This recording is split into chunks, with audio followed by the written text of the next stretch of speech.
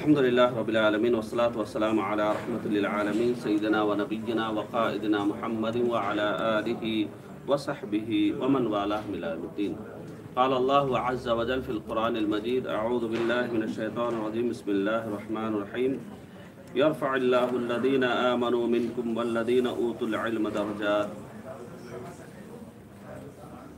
माज़ सामीन, वाजिब एहतरम बुज़ुर्ग, आप सभी को मेरा इस्लाम तहैया। वरहमतुल्लाहि वबरकातुहू। आज का हमारा मौजू इल्म और अहले इल्म की कदरदानी होनी चाहिए। मुआज़ सामीन, अल्लाह सुबहान तआला कुरान में इशार फरमाते हैं कि अल्लाह ताला दुनिया व आखरत में बुलंद दर्जात अता फरमाएँगे। उन लोगों को जो अल्लाह के इतात गुजार हैं और उन लोगों को जो इल्म वाले दीन इस्लाम दीन इल्म है, इल्म का दीन है। पहली वही अगर आप लेते हैं तो उससे भी ये बात पता चलती है कि दीन इस्लाम इल्म को कितना अहमियत देता है। पहली वही जो नबी रहमत सल्लल्लाहु अलैहि वसल्लम पर नाजिल हुई थी, जो कि पाँच आयात हैं। इल्म और असबाब इल्म का तस्करा जो है, इन पाँच आयत में पाया जाता है। चुनाचे इल्म की बड़ी अहमियत है। नबी रहमत सल्लल्लाहु अलैहि वसल्लम ने इसकी बड़ी फजीलत बयान फरमाई है। चुनाचे आप सल्लल्लाहु अलैहि वसल्लम का इरशाद है कि तालब इल्म के लिए। अल्लाह के फरिश्ते अब उनकी राह में अपने पर बिछाते और नबी रहमत सल्लल्लाहु अलैहि वसल्लम ने फरमाया, जो दीन का इल्म हासिल करने के लिए एक रास्ता अपनाता है तो अल्लाह सुबहाना ताला उसके लिए जन्नत को जाने का रास्ता आसान फरमा देते इस तरह से इल्म की बहुत बड़ी फजीलत आई हुई है। सुनाचे हमें चाहिए कि हर मुसलमान के लिए जो ज़रूरी इल्म है, चाहे अकीदे का हो, चाहे इबादत का हो, मामलात का हो, तजारत का हो, दीगर उमूर का जो भी इल्म ज़रूरी है, वो इल्म हमें हासिल करना बेहद ज़रूरी है। हर चीज़ के लिए हमें दूसरों पे डिपेंड नहीं होना। उलमा की शान अपनी जगह है, उलमा की कदर अपनी जगह है, उलमा का काम अपनी जगह है। लेकिन इनफरादी तौर पर जो इल्म हमारे पास होना चाहिए, उसका होना बेहद ज़रूरी है, क्योंकि शैतान दो ही रास्तों से इंसान को गुमराह करता है। एक है शुबहा, जो इल्म के ना होने से पैदा होता है, और एक है शहवा जो आखिरत की फ़िक्र ना करने से ये चीज़ पैदा होती है। चुनाच मामीन इल्म की बड़ी कदर है, उसकी कदरदानी होनी चाहिए।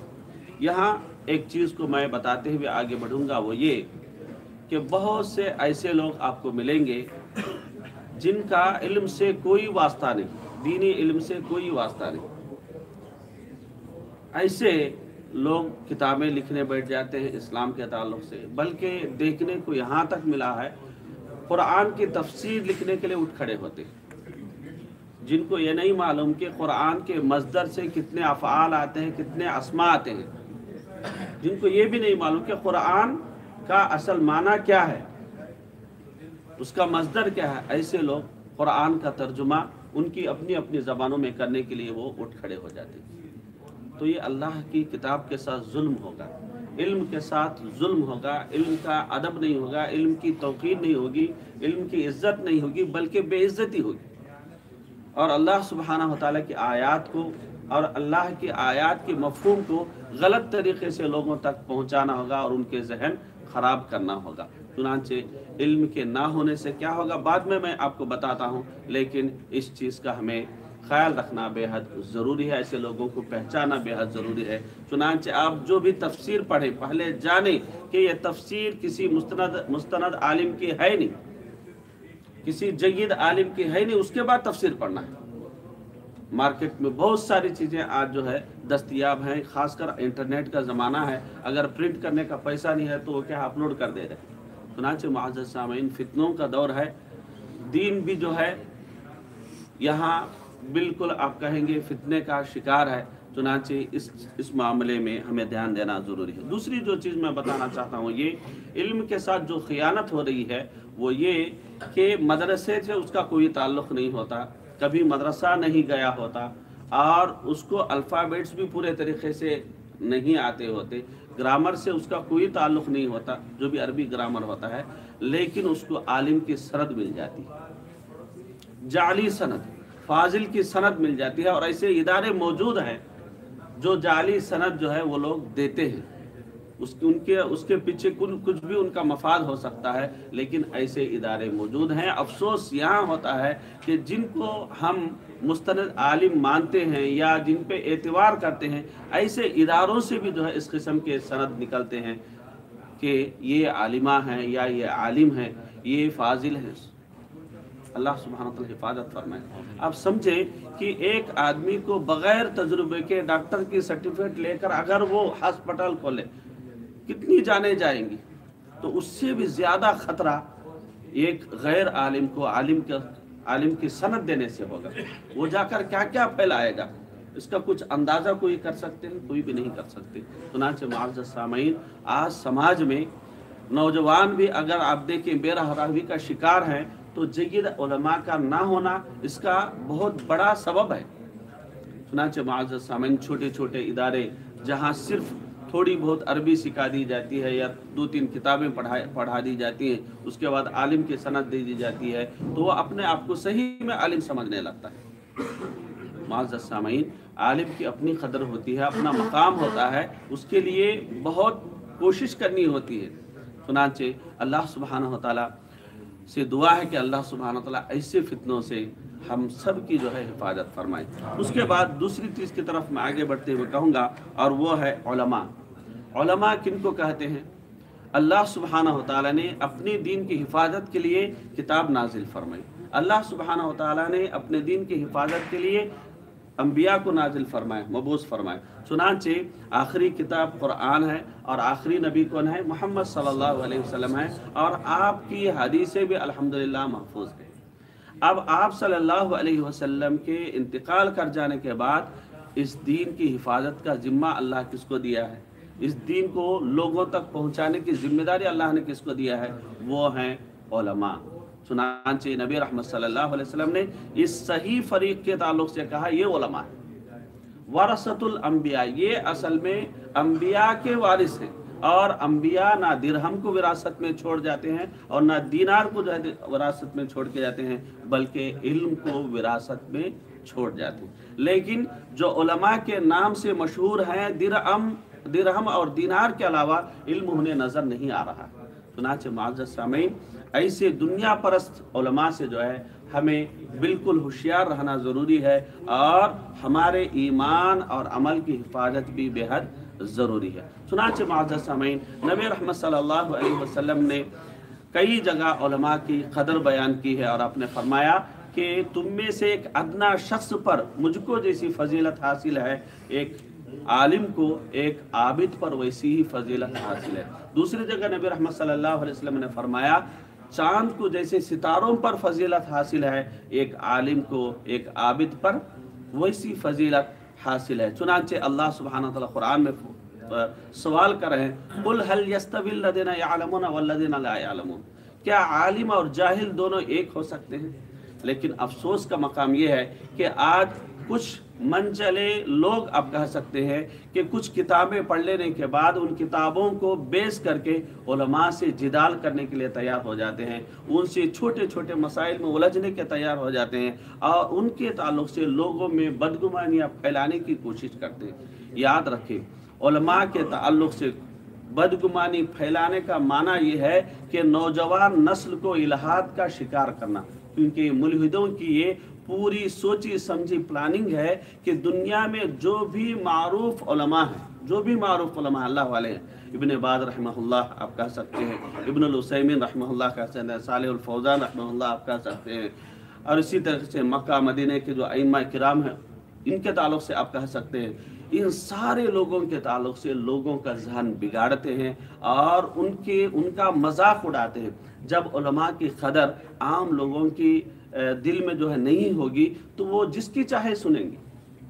क्योंकि उलमा ही होते हैं जो फितनों के दौर में जो है लोगों को उन फितनों से बचाते हैं। सुनाचे मुआज़ सामीन नबी रहमत सल्लल्लाहु अलैहि वसल्लम ने आलिम की तकदीर जो, आलिम की जो इज़्ज़त नहीं करता, एहतराम नहीं करता उसके ताल्लुक से आप सल्लल्लाहु अलैहि वसल्लम ने फरमाया, वो शख्स हम में से नहीं है जो हमारे बच्चों पर रहम नहीं करता और हमारे बड़ों की इज़्ज़त नहीं करता और हमारे की कदर नहीं करता। हमारे की कदर नहीं करता। चुनाचे जो सही मानों में उलमा है, मुझ जैसे तो तालिब इल्म है, लेकिन जो सही माने में जिनको रब्बानी उलमा हम मानते हैं, जिनको मुस्तनद मानते हैं, जिनको मर्जा मानते हैं मसदर मानते हैं तो ऐसे उलमा की कदरदानी होनी चाहिए। अफसोस अफसोस के साथ ये बात मैं बता रहा हूँ ये कि खुद कुवैत में कई मौक़ों पर ऐसा हुआ है कि लुकमान सल्फ़ी जैसे अलहमद सल्फ़ी जैसे जो है एक बहुत ही काबिल कदर शख्सियत कुवैत आए हैं लेकिन किसी में कोई भी शूर नहीं कोई भी जो है आ, उनके महाजरात में जाने के लिए इतना जो है शौक़ नहीं दिखा रहा है। लेकिन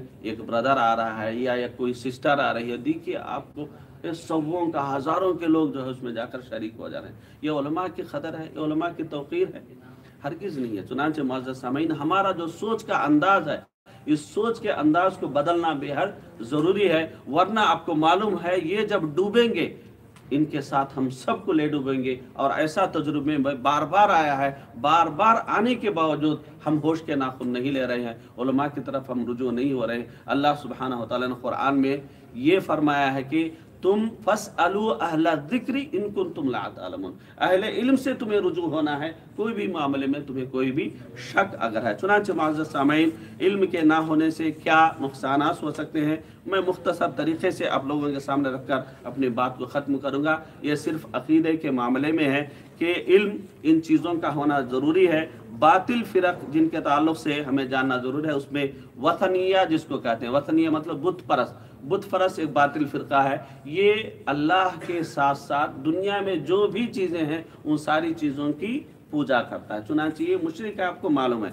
और दूसरा जो फ़िरका है, जिसको हम यहूद और नसारा कहते हैं, ये इन सारी चीज़ों में तो इनका ईमान नहीं है, लेकिन ये कहते हैं कि अल्लाह तीन हिस्सों में बटा हुआ है। तीन हिस्सों में बटा हुआ चुनाचे ईसाइयों का वही अकीदा है और यहूदियों का भी वही अकीदा है, जिसको हम तसलीस कहते हैं। ये भी गुमराही है, इसको जानना ज़रूरी है। उसके बाद अलहलूलिया एक फ़िरका है। ये लोग कहते हैं कि अल्लाह सुबहाना नाउज़बिल्ला हर जगह जो है वो हलूल किए हुए, यानी हर चीज़ में अल्लाह सुबहाना तला है। ये नौज बिल्ला ये भी गुमराह फ़िरका है। बस अकीदे की हिफाजत के लिए चीज़ें मैं आप लोगों को बता रहा हूँ। और इसी तरीके से मुआज़ सामीन अलतिहादिया एक फ़िरका है, जो कहता है कि अल्लाह और मखलूक के दरमियान कोई फ़र्क नहीं है।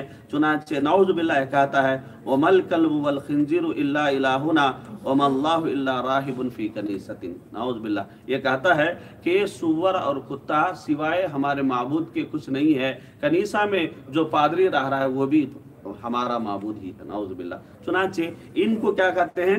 इल्हाद, इनको इतिहादिया कहते हैं। ये फ़िरक़े कहाँ पाए जा रहे हैं? बात के फ़िरक़े जो मैं बयान कर रहा हूँ। इतिहादिया फ़िरका मुसलमानों के दरमियान, मुसलमानों के बेस में ये लोग पाए जाते हैं।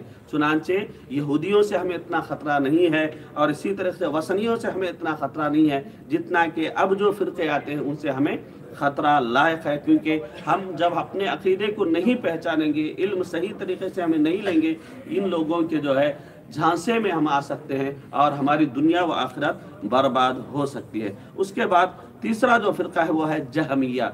जहमिया वो फ़िरका है, जो अल्लाह और अल्लाह के जो असमा व सिफ़ात हैं, जो कुरान और हदीस से साबित हैं, इसके मामले में इन्होंने झगड़ा किया, बल्कि इख्तलाफ किया इन लोगों ने। चुनाच इनको जहमिया कहते हैं, याद रखें। और इसी तरीके से अल मुशबा मुशबा एक फ़िरका है, जो अल्लाह सुबहाना तला के असमा व सिफ़ात को मखलूस से तशबी देने की कोशिश करते हैं। यानी अल्लाह सुबहाना तला सुन रहे हैं, अल्लाह सुबहाना तला देख रहे हैं तो लोगों का जहन बिगाड़ने की कोशिश करते हैं कि ये देखना और ये सुनना ये इंस, आम इंसान जैसे है और इस तरीके से अल्लाह के असमा व सिफात जो हैं उनकी नफ़ी की तरफ़ ये लोगों को दावत देते हैं। और इसी तरीके से कदरिया है ये कदरिया व फ़िरका है जो तकदीर के ताल्लुक से बात करता है और ये कहता है कि अल्लाह सुबहाना तआला ने ना खैर को पैदा किया है ना शर को पैदा किया और उसमें एक और बात ये भी है कि कुछ कहते हैं कि खैर को तो पैदा किया शर को अल्लाह ने पैदा नहीं किया है, बल्कि खैर को खैर और शर का पैदा करने वाला अल्लाह सुबहाना ताला है और उसमें अल्लाह सुबहाना ताला की हिकमत है। और उसके बाद जबरिया एक फ़िरका है, ये भी मुसलमानों के अंदर पाया जाता है। सुनाचे ये कौन लोग हैं? ये कहते हैं कि इंसान मजबूर है।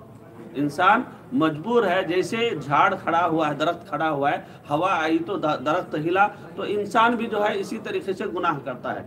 उसकी कोई मशीयत नहीं है। तो ये मजबूर समझते हैं इंसान को, जबकि अल्लाह सुबहाना तआला ने इंसान को मजबूर नहीं ठहराया है, ये जबरिया है। और इसी तरह से मुर्जिया एक फ़िरका है, ये मुर्जिया जो फ़िरका है, ये कहते हैं कि ईमान के साथ कितना भी बड़ा गुनाह कर लो, कुछ भी नहीं होगा। ईमान के साथ कितना भी बड़ा गुनाह कर लो, कुछ भी नहीं होगा। यानी ये इतने मुर्जी यानी रजा से जो है ये जुड़ा हुआ है। चुनाचे इसको भी हमें जहन नशीन कर लेना ज़रूरी है नहीं। इनका कहना है कि दिल से आपने मान लिया, ये ज़बान से आपने अदा कर दिया। ला इलाहा काफ़ी है। आप अमल करो, ना करो, कैसे भी रहो, उससे कुछ भी होने वाला नहीं है। ना ईमान ज़्यादा होता है, ना ईमान कम कम होता है। तो ये ये इनको क्या कहते हैं? मुर्जिया कहते हैं। और इसी तरीके से मोतजिला ये वो लोग हैं जिन्होंने कहा कि कुरान मखलूक है। कुरान मखलूक है और इन्होंने कहा, जो कुरान को मखलूक नहीं मानता, अगर उसी हालत में उसकी मौत होती है, वो जहन्नम में जो है हमेशा हमेशा रहेगा। इसको क्या कहते हैं? मतजिला कहते हैं। ये भी मुसलमानों के अंदर पाया जाने वाला फ़िरका है। और इसी तरीके से खवारिज हैं। खवारिज ये वो फ़िरका है जो कहता है, मुर्तकब कबीरा यानी बड़ा गुनाह करने वाला, बड़ा गुनाह करने वाला काफिर है और वो हमेशा के लिए जहन्नम में रहेगा। चुनाचे जो भी बड़ा गुनाह करने वाला कबीरा गुनाह करने वाला उसको कहते हैं, यह एक काफिर हो गया ये हमेशा जहन्नम में रहेगा इसको क्या कहते हैं? खवारिज कहते हैं। ये भी फितना बड़ो, बहुत बड़ा है। ये फितना आज के दौर में अगर आप लेते हैं, कुछ ज़्यादा ही जो है, ये जड़ पकड़े हुए इसको याद रखें। और इसी तरीके से आशाइरा कुलाबिया, मातुरिदिया, ये जो फ़िरक़े हैं, ये भी अल्लाह के असमा व सिफ़ात के मामले में बहुत ही तावीलात ये करते हैं, चुनाचे उलमा ने इनको भी जो है अलग रखा हुआ है। और इसी तरीके से राफिजी जो होते हैं, ये बिल्कुल अकीदे में हमसे मेल नहीं खाते, हर चीज़ में इख्तलाफ करते हैं, चुनाचे इनसे भी हमें बहुत ही होशियार रहना ज़रूरी है। उसके बाद सूफिया वो फ़िरका है, जिसमें दो किस्म के फ़िरक़े हम कह सकते हैं ये वो हैं जो गुलू करते हैं, एक वो हैं जो गुलू नहीं करते। जो गुलू करते हैं, वो ये कहते हैं कि इंसान और मखलूक के दरमियान कोई तफरीक नहीं है। बिल आखिर इंसान जाकर अल्लाह में हलूल कर जाता है नौज बिल्ला तो ये सूफिया फ़िरका है। सुनाचे मुआज़ सामीन, नाम से, उनके लिबास से, उनके ढंग से रहन सहन से धोखा नहीं करना है, बल्कि अकीदा अहम है किसी भी शख्स को। पहचानने में इबादत, वो तो ज़ाहरी चीज़ें हैं। अकीदा अहम है कि कौन किस किस्म के अकीदे का हामिल है। और मुफवज़ा एक फ़िरका है जो कहते हैं कि अल्लाह के जो असमा व सिफ़ात हैं, हम उसका माना नहीं बताएँगे, उसका माना अल्लाह को ही मालूम है। यानी एक किस्म से आप देखें कि इस तरह कहना अल्लाह के असमा और सिफात का इनकार करना है। सुनाचे इनको क्या कहते हैं? मुफविज़ा कहते हैं और अलवाकिफ़ा कहते हैं, वो कहते हैं कि कुरान मखलूक है, गैर मखलूक हम नहीं कहेंगे। कुरान मखलूक है, गैर मखलूक हम नहीं कहेंगे, हम खामोश रहेंगे। सुनाचे इसको वाकफ़ा कहते हैं और इसी तरीके से बातनिया फ़िरका है जो योम आखिरत का इनकार करते हैं और उसके बाद आखिर में जो मैं आप लोगों के हवाले करना चाहता हूँ, वो है महतरम सामाइन कादियानिया। कादियानिया भी एक फ़िरका है और ख़ासकर पाकिस्तान में रहने वाले और हिंदुस्तान के देहातों में रहने वाले बिल्कुल होशियार रहे कि ये कितने ही तरीक़ों से जो है मुसलमानों के दरमियान आना चाहते हैं, कभी फाइनेंशियली उन्हें मदद कर, कभी दूसरे तरीके से उनका सपोर्ट करके। हमेशा उनकी जो चैनल है, देखें आप, कुरान की तिलावत होती रहेगी, अच्छी बातें होती रहेगी तो आदमी अट्रैक्ट होता है। चुनाचे माजद सामीन इन चीज़ों को जहन में रखें कि इनका इल्म ना होना, आप समझ लिए ये कि आपकी दुनिया व आखिरत दोनों बर्बाद होगी। चुनाचे इल्म की कदर कीजिए और सही उलमा को पहचान कर उनकी जो है एहतराम कीजिए और उनके साथ जुड़िए। तो इन सारे जो बातिल फ़िरक़े हैं, उनसे महफूज होकर हम दीन के पाबंद हो सकते हैं और दुनिया व आखिरत में कामयाब बन सकते हैं। अल्लाह सुबहाना ताला की ज़ात से दुआ है कि अल्लाह सुबहाना ताला हम सबको कहने और सुनने से बढ़कर अमल की तोफ़ी अता फ़रमाए और हमारे की, की पहचान और उनकी कदर करने के अल्लाह सुबहाना ताला हम सबको तोफ़ी अता फ़रमाए। आमीन। वज़ाकम खैर वसलम वरहमल वर्क सुबहान क्या है?